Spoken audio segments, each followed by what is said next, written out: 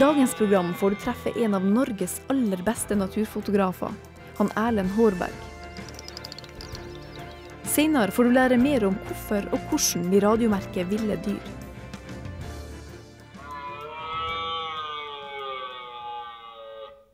Vi er i Grytdalen naturreservat i Sør-Trøndelag, og er her for å oppleve hjorten på nært hold. Han Erlend Hårberg er naturfotograf og har tatt han Dag Kjelsås og meg med ut på jobb. Han Dag er redaktør i bladet Villmarksliv og er på jakt etter et fotooppslag han kan bruke i bladet. Vi er inne i et freda område med uvanlig stor tetthet av hjort.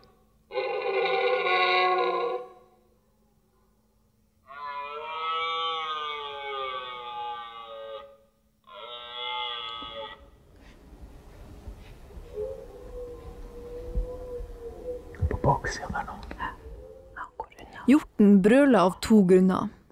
Både for å hevde revir i forhold til andre bukker, og ikke minst for å imponere damen. Det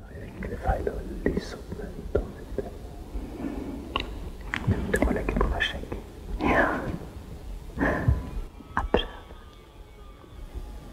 Som best inn her, så kan du fort høre opp til 15 dyr samme slangen. Det er ganske unikt. Det er ikke mange plasser du hører det. Det er spennende. Det er spennende. Litt som på posten. Ja. For det er på et par gevirer som dukker opp. Så kjører PPV imot. Der hvor hjertet noen ekstra slag. Det hos deg, ja, selv om det har opplevd det noen gang. Hver gang at du får Etter noen timer med stille venting, uten resultater, trenger han Dag litt action.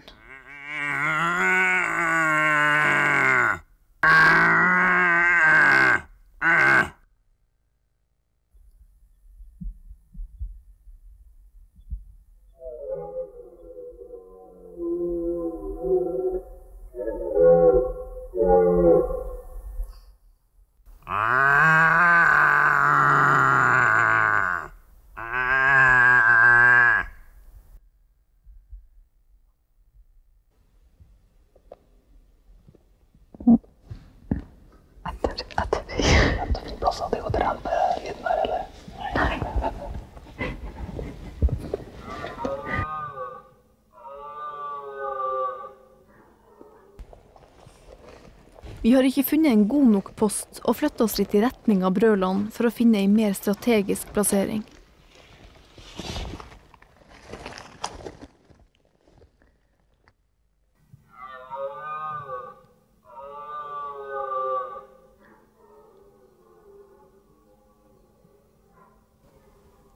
Etter å ha ligget i ro enda noen timer, har vi hørt godt over ti forskjellige bukker, uten å ha fått noen på synlig hold. Vi er for mange, og det blir rett og slett for mye bråk. Jeg kan nesten ikke forstå det, jeg har aldri vært så stille. Hvordan tenker du i forhold til ja, komposisjon og, og sånne ting? Altså, når du skal ta et bilde. Ja, det, Får du tid å tenke? Det er det jeg Det går jo mest lurer på, på- altså, for det går jo fort. det går veldig fort, men det går litt på rutine etter hvert. Ja. Du har sånn standard, du skal ha litt mer luft foran dyret. Og, og ja. Sånn For min egen del så er jeg kanskje ikke så veldig opptatt av det med komposisjon. Jeg er mer kanskje opptatt av å få situasjoner i bilder, få atferd, atferdssituasjoner. Det, det betyr mer for meg enn bildet er perfekt komposisjonsmessig oppbygd. Er hjorten spesielt vanskelig i forhold til det meste annet? Ja, jeg vil si det. Det er kanskje den arten som er mest utfordring på Mm. å få gode, gode bilder på. Men du opplever mye annet òg. Det er jo ikke bare hjort når du ligger ute. Du har jo, I dag hørte vi spurvugla, f.eks. Det er jo masse andre ting som Det skjer. er det som er litt av spenninga også. Du Ja. vet aldri hva som kan dukke fram på Nei. når du ligger, ligger og venter. Det har vært ganske nært at vi fikk se han. Brølinga er jo, jo en eh, bonus, det òg. Det er kjempeopplevelse. Aldri en mislykka dag ute på sammen med hjorten for ørn som er her, men det er klart den skulle gjerne fått, fått den fram på posten. Men Men nå nærmer klokka seg elleve, så vi må gi oss. Det er liten sjanse for å få sett dyr så seint på dagen. Så for at han Dag skal få bildene han er ute etter, må vi sette vår lit til Erlend sitt fantastiske arkiv. Han Erlend har jobba mange år som fotograf, de senere årene også med video. Det krever enormt med tid og innsats, og er alt annet enn enkelt å få fanga på film de unike bildene. Han tilbringer store deler av året ute i telt. For en naturfotograf dreier det seg ikke bare om jobb, men om en livsstil.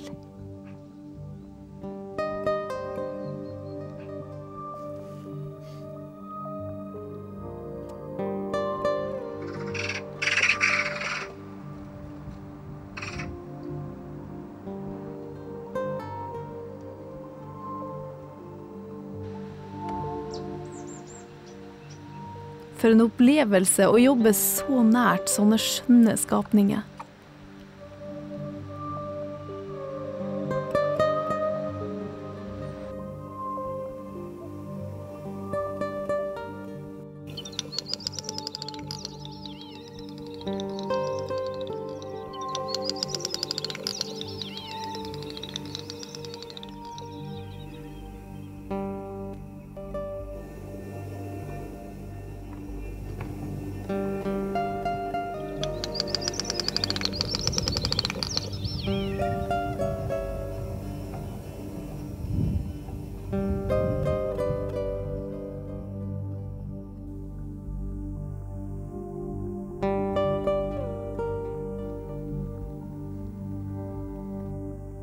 Dyrene kan virkelig det å underholde.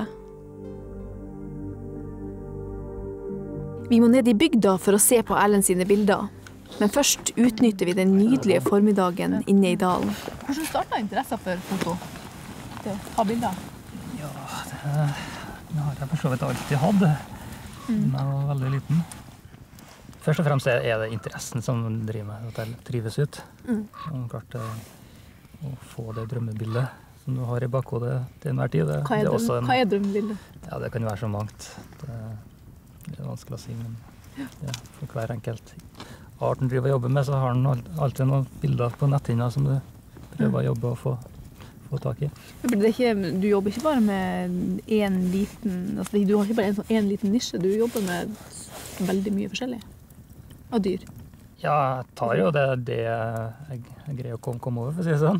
Det, Ja. det er ikke noe som forskjell. Jeg syns det er artig å fotografere fra både mus til elg.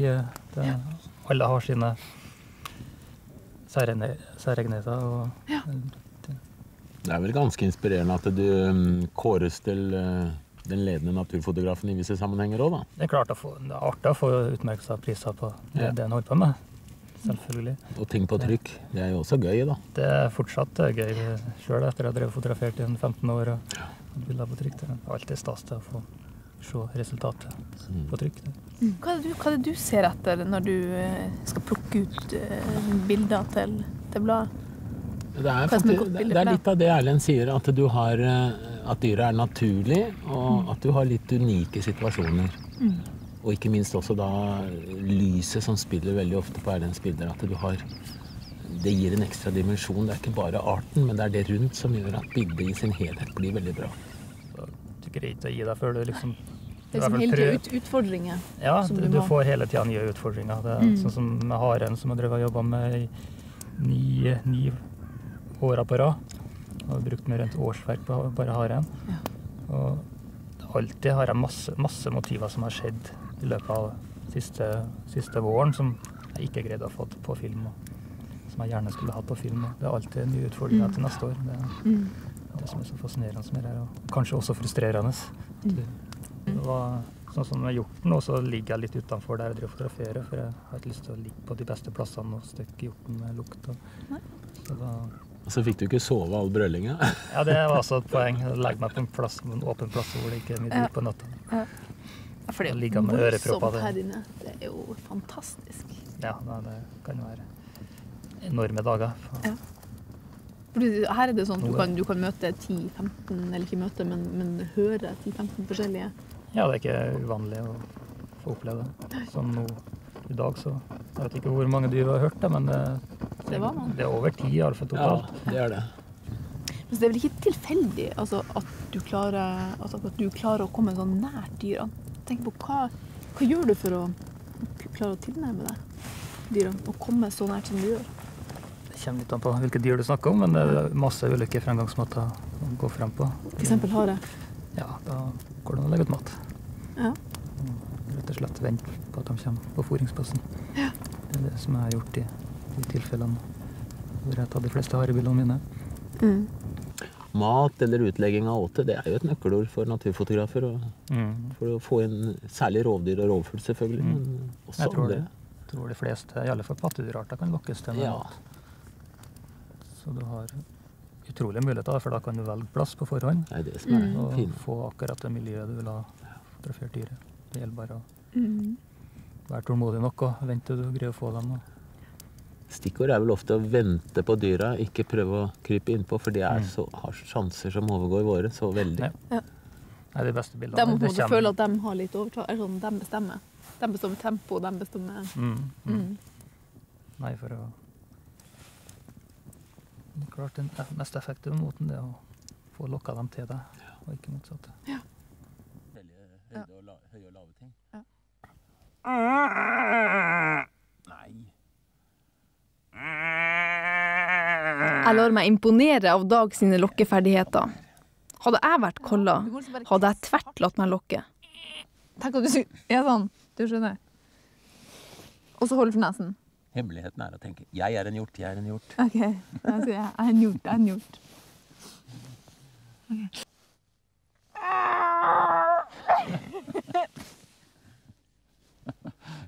Ikke fra han ikke Det er faktisk alt annet enn enkelt. Jeg har litt å gå på, tror jeg. Foreløpig spørs det om jeg ikke hadde blitt en ganske ensom hjort. Men du har ikke hørt noen damer som har gjort det her før? Jeg tror ikke det ligger helt til oss. Det ligger i særklasse den den jeg hørt. det for. du ser, du har ikke noe å frykte med å prøve.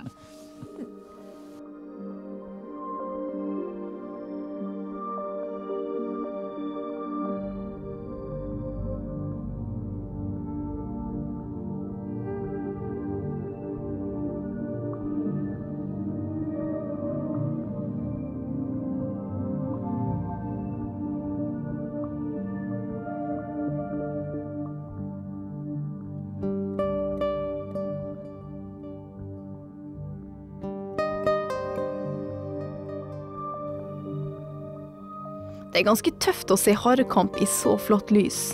Og ikke mindre imponerende er denne brushannen i sin fineste drakt. Han Dag har med seg den ferske utgaven av bladet, som inneholder flere av Erlend sine bilder. Vi setter oss ned ved Sognli forsøksgård for å se på nye, aktuelle bilder. Du ser vi har speilvendt den der, da. Åsen. Ja, det jeg. For å få inn eh, teksten uten å ødelegge linjene her. Fy søren, vi jobba ganske mange. Det bildet her er jo tatt inn i traktene her. Ja visst. Oh, ja. Det er liksom Det er kunst sånn her, sånn som det her. Det er jo det. Ja, det er eh, Jeg blir så fascinert av at det går an å se sånne ting, altså sånne små ting, og så få så mye ut av det. Men hva er det du er ute etter nå av bilder? Eh, vi trenger noen sånne si det to-tre i vinterhalvåret. Den rypa er jo helrå da, med den røde kammen i motlys. Sånn eh, litt seint på våren, eller mens det fortsatt er snø. Ja, da. men det er vel i skal vi se, slutten av april. Ja, hva er, det, hva er det med de her bildene som gjør at du vil ha dem? Ja, det første jeg tenker på, det er altså å ha det som ligger i bånn, sånn som du har her. ikke sant? Mm. Du finner et bilde som tåler å ha litt tekst og litt andre bilder i seg. Og det der tåler Det det. Hvis du, sånn hvis du legger rypa på venstre sida nå, og så, og så teksten og lignende det der, da kan du gjøre det. For her er det bare Det er ingen detaljer her, så da gjør det ikke noe om du legger inn de andre. Mm. Hvis du beskjærer den reven litt, Mm. så du ikke får med så mye blått rundt den, så kan du putte den her. Og så kan du putte den, det bildet der, eventuelt med haraen også ved siden av der. Og da har du en sammenheng og, og harmoni. Mm. Men jeg må se litt hjort òg. Ja, her har vi hjort. Jeg er liksom litt inspirert på hjort nå, da. Etter å ha hørt den eh, i dag tidlig. Mm. Det er, der har du eh, virkelig gjennomført miljøet og hele pakka. Sånn. Men den her eh, paringa her, den har jeg tatt om høsten. Ja, det er tatt i slutten av oktober. Ja. Det er nesten dårlig gjort å ta bilde av den i sånne situasjoner. Da. Lavskrikeflukt det er jo et av Norges beste naturbilder gjennom tiden omtrent, vil jeg påstå. Så Det er helt klart eh, på Det er ansiktet. sånn Et bilde du får av 1000, kanskje 10 000. Ja. Du akkurat får skarpheten på øyet. Så vrin huet akkurat riktig akkurat der og da. Det? Kan, det, Det, kan det er flaks og tilfeldigheter. Det lykkes en sjelden gang og mislykkes. Jeg syns det var litt tøft det her også, med Ja. rumpa til Ja, ja, ja. rypa. Det er ikke alle som er klar over at rypa spiller Nei. som bare det, vet du. Og den situasjonen der, det skjer kanskje to ganger i, i døgnet. Hva, ja, hva er det de gjør på, på bildet? Her? Ja. Ja, Ja, men altså, ja, men altså Dumt spørsmål. ja. Kan du forklare meg sånn inngående hva er det som skjer? På godt norsk er det paring. Ja, har du sett? Det var, Du jeg så det jo ikke nedi her, jeg. Jeg bare så eh, at det var utbretta. Men ja, nå skjønner jeg jo. Men det er ikke sånn, nå holder du ikke bare på med stillbilder, du holder på med video også. Ja, det er Og det er litt annet, fersk. eh, litt annen teknikk. Det er en annen måte å tenke på. eh, Veldig fascinerende Mm. som fersk filmfotograf. Så Men det blir litt av en prioritering også. ja, Å vite hva, når tid du skal eh, jeg prøver jo å kombinere det. Både fotografere litt og filme litt. Ja, det er litt vanskelig. Det. Du må ikke gi deg med fotograferinga. Det syns ikke vi som holder på med blader, i hvert fall. Nei. Jeg kommer nok aldri til å gi meg med fotograferinga for fullt. Men Han er ordentlig avslappa, denne eh, elgen her. ja, Ligger bare og koser seg. Den her bedagelige dager før Ja. brunsten. Ja. Like før Du har noe, du har noen videoer av, eh, av eh, elg som ligger også, har du ikke det? Jo, jeg var litt heldig her sist høst og fikk noe artig opptak med to okser som drev og lekeslåss litt. Det var en, en litt større okse, en tolvtager, som lå på bakken og fikk besøk av en yngre okse, en ett ett og et halvt åring. Ja. Og han begynte å prøve seg litt på oksen mens den lå. Han store oksen han tok ikke så veldig notis av den, så han lå bare og parerte. og Var skikkelig konge. Ja, han brydde seg ikke så veldig mye om den jyplingen som prøvde seg på den. Omtrent som en voksen hund som lar en hundevalp drive og bite litt og herje litt. Ja, det virka nesten sånn. Ja. Det, Det der var jo- før den høybrunsten har satt inn, så han tolererte den akkurat i den tilfellet der. Ja, ja, han. Har også gode opptak av hjort. Det var inni også inne her. ja. Det var tatt nå bare en ti dager siden. Ja, nettopp. Ja. Det var du delvis eh, smøg meg innpå dem. Jeg så at det var Eller så delvis hørt og, og så dem. Så beina på dem inne i skogen. Mm. Og så at de eh, trakk litt unna inni noen tette busker. Det var utrolig fint når du liksom bare ser at den kommer ut av skogen og bare Ja, det er en mektig opplevelse. Det er sånn, mm. Føler at nakke- nakkehårene reiser på. Ja. Det ideelle er jo når, det, da, når det er litt kaldt, så det ser liksom det står sånn tåke ut. Ja. Det, det er et drømmebilde som jeg har. Jeg har fått noe bilder av det, men ennå så mangler det perfekte situasjonen. Her er et skikkelig actionbilde. Ekornet hopper den fra eh, et Ja, tre til neste. Fritt svev i lufta ja. fra en, en grein til annen. Ja. Balansekunstner av det store. Og det ekornet der, det Det fôra på i er sånn et par år òg. Ja. Det var veldig tillitsfulle til det som plage. Han, han stjal en god del mandler fra meg i løpet av en sesong. Ja. Jeg vet ikke hvor mange kilo det gikk med, men Kom litt for tett på. Ja, Hanne, nå har du opplevd gjort sammen med naturfotografer. Hvordan syns du det her virker? Jeg er veldig inspirert, må jeg si. Så har jeg funnet ut at for å bli en god naturfotograf, så må du være tålmodig. Du må like å vente, bo i telt.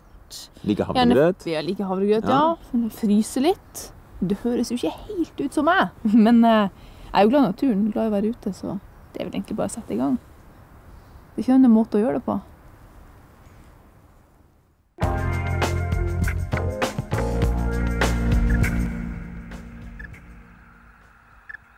Fanging av ville dyr for undersøkelser og merking er viktig for forskning og forvaltning. Det stilles strenge krav til behandling av viltet i sånne prosjekt. Kalven til 040. Innfanging og merking av vilt er jo sånn i utgangspunktet litt sånn kontroversielt. Altså det, mange reagerer på at vi håndterer viltlevende dyr. Men eh, det går på kunnskapsinnhenting for at vi skal være i bedre stand til å forvalte det viltet. Både for viltet sin egen del og i forhold til annet vilt, i forhold til de menneskelige interessene som er rundt. Alle sånne innfangingsprosjekter, merkeprosjekter, er jo gjennom en søknadsprosedyre. Det første man eh, må gjøre, er selvfølgelig å få metodikken godkjent. Og da er det noe som heter Forsøksdyrutvalget, som ligger inn under Mattilsynet, som vurderer de metoder i forhold til de artene som er gjenstand for prosjektet. Vi ser også på om de målsettingene prosjektet har, er i samsvar med den ressursbruk og de metoder som, som ligger til grunn for det. Og at det resultatet de ønsker å få fram, er noe som vi ser som gagnlig for eh, både forvaltning og ikke minst resultatene for øvrig.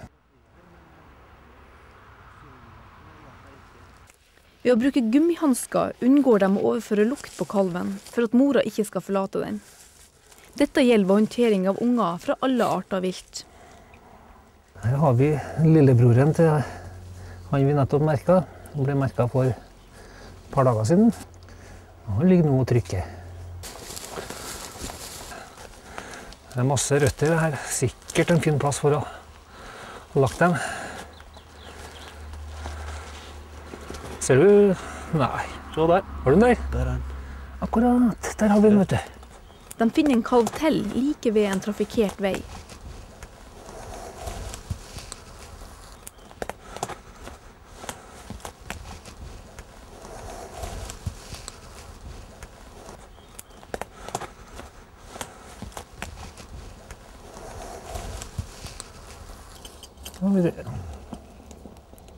Der.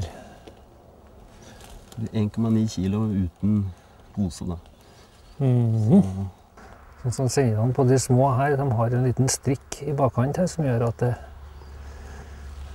vil ekspandere litt etter hvert som nakken, halsen utvider seg. Sånn at det blir aldri, aldri for trangt. Og blir da nakken litt for stor, så vil hele, hele halsbåndet løsne av. Så vil den lille tassen her da gi verdifull informasjon om bevegelse, eventuelt hva har, hva har vært og spist den, eller om i verste fall havner som mat til en bil som går på veien like overom her. Sånn sett så var det ikke noe heldig plassering av, av dyrene, men vi får håpe det beste.